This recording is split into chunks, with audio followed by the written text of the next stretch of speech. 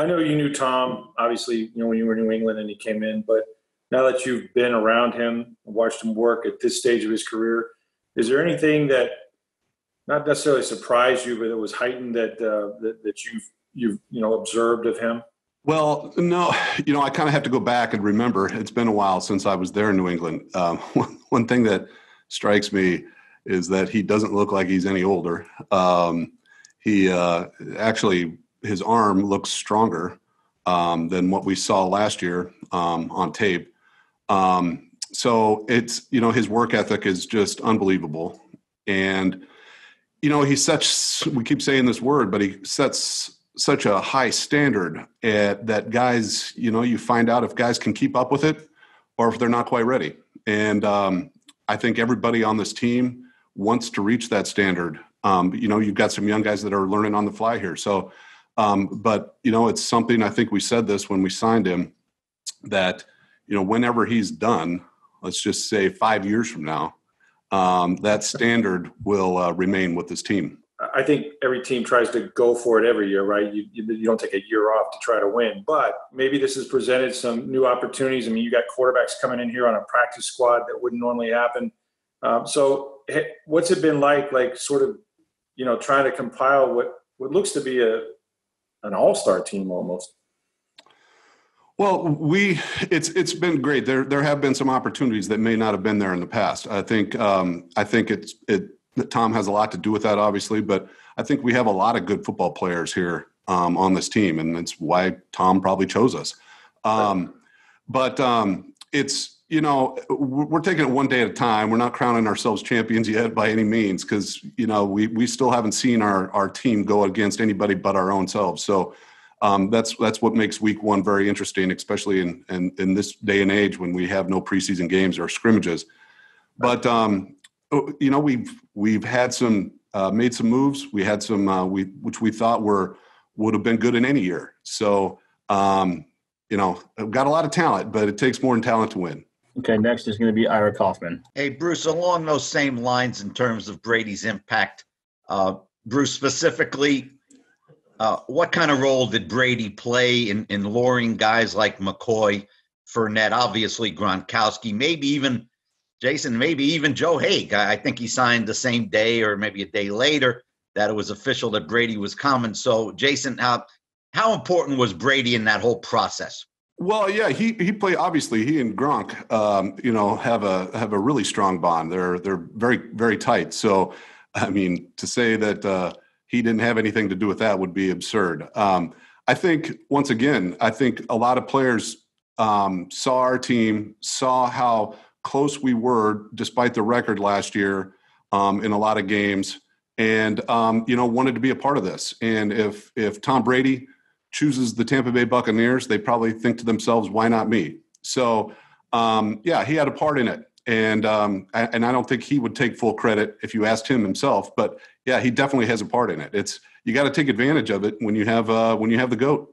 So in, in that way, Jason, he's he's already paid uh, some some big dividends. Yeah, he's paid some big div- dividends in, in terms of also how he's showing these guys um, how to work, like we talked about earlier, and just how um, important it is to take care of your body, take care of your mind, take care of everything, and you know you put everything into it and you don't take anything for granted. So uh, there's a lot of lessons being learned here. Okay, next is going to be Jenna Laine.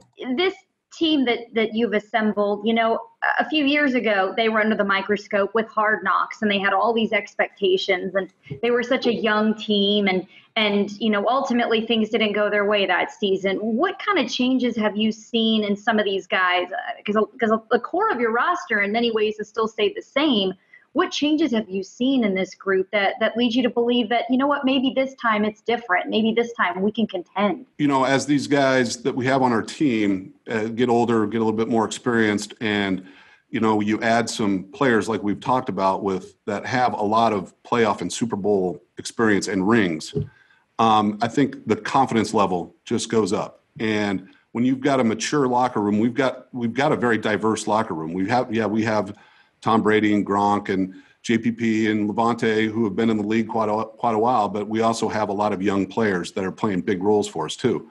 But I think it's just the confidence level and you know expectations with a younger team. Sometimes you you you want to tamper them down a little bit. Well, with this group, I think expectations are um, are welcome because you know everybody wants to live up to expectations, but they also know that when you to live up to the expectations, you have to put in the work. So we and we definitely have that type of unit right now in our, our entire locker room. As far as as the the running back position, right? Like Ronald Jones, we keep hearing he's the guy, but you've also added some pieces to that and everything.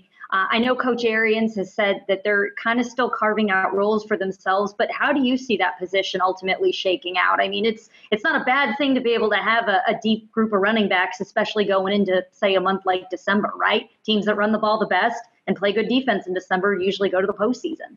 Yeah, I'm very excited about that group. Um, I think Shady um, has been such a good bell cow there in that room and leader and has embraced that role.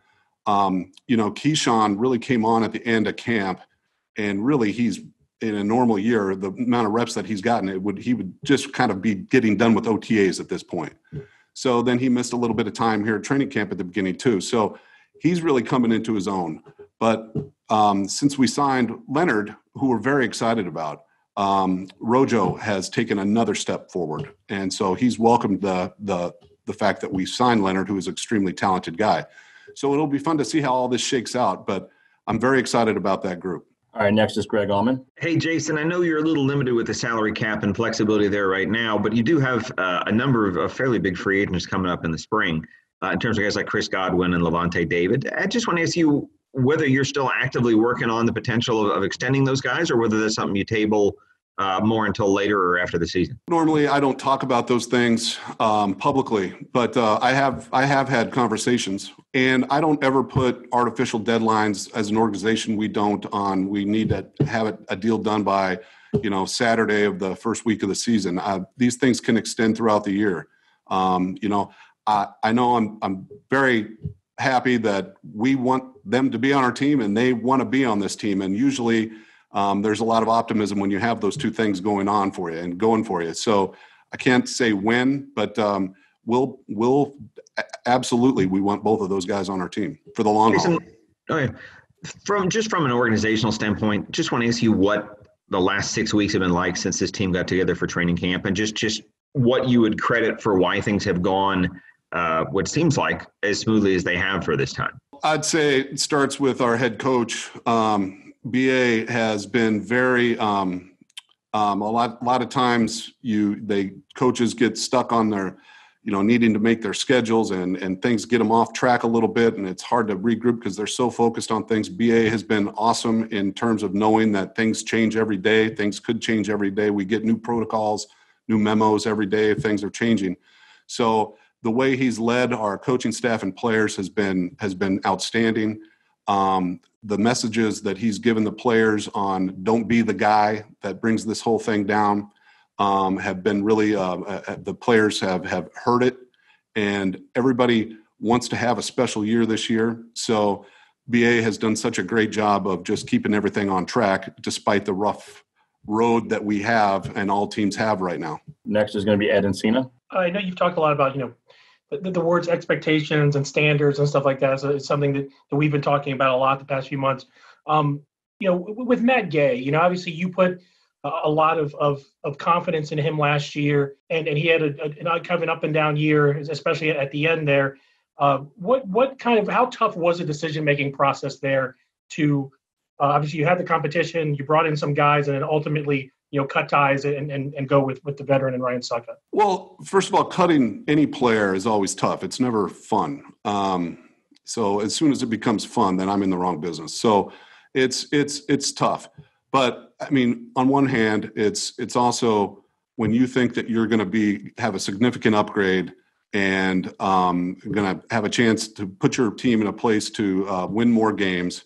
Um, it's a it's an easy decision. So um, you know, you never know how it goes with these with with with things, with signings, with players. Uh, there's a lot of factors that go into it. So, but right now we feel very good about uh, Ryan. Our last one's going to come from Scott Reynolds. Hey, Jason. Uh, thanks for doing this. Just to follow up on kind of what Ed was talking about, I'm sure you want the kicking carousel to end. That's a position you've worked all avenues to try to solidify since you arrived in 2014.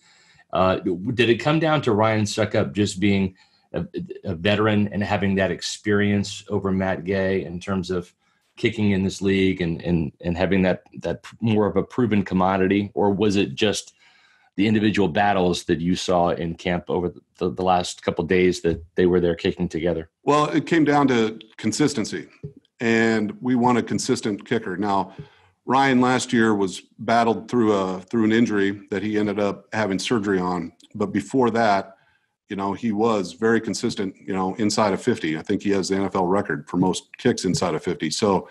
Um, you know, we worked him out here and, and showed exactly what we thought he was on tape. Um, he's a he's a great guy in terms of he's uh, it seems like he's got a great head on his shoulder and he can take the weight of the world on his shoulders um, at that position which is very important so we'll see how it goes um, don't have a crystal ball i wish i would otherwise we wouldn't have had a kicking problem here Sure. And with with Khalil Davis making the roster, he might possibly become a, a, day three gem for you at some point. He's not the biggest, uh, you know, defensive tackle. You've liked bigger defensive tackles, but can you speak to what you saw him in the pre-draft process, and then what you liked from him in training camp, and uh, obviously enough for him to make your roster? Yeah, he brings an element um, to our D line, uh, a little bit different element than the other guys, where he is just a very explosive, fast um, uh, high motor player. All of our players work very hard and, and have a big motor, but he's just exp- brings an explosive element. Um, he, um, you know, he came in. He he surprised us where he was in terms of picking up the playbook, um, being able to go out there right away, know what he's doing. And you know the guy can run. It's it always helps when you have a 300 pound guy that runs a 475. We didn't draft him off the numbers, but but the uh, the numbers correlated to the way he played.